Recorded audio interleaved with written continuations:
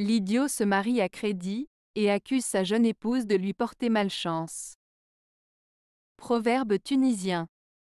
Ce proverbe tunisien souligne le fait que les personnes qui agissent de manière insouciante et sans réflexion sont souvent celles qui rencontrent des problèmes dans leur vie. Le mariage à crédit, qui est une décision financière irresponsable, témoigne de l'impulsivité de l'individu. Au lieu de prendre la responsabilité de sa propre décision, l'idiot choisit de blâmer sa jeune épouse pour sa malchance, même si cela n'a aucun rapport avec elle. Ce proverbe met en garde contre le fait de prendre des décisions hâtives et de chercher des boucs émissaires en cas de difficulté.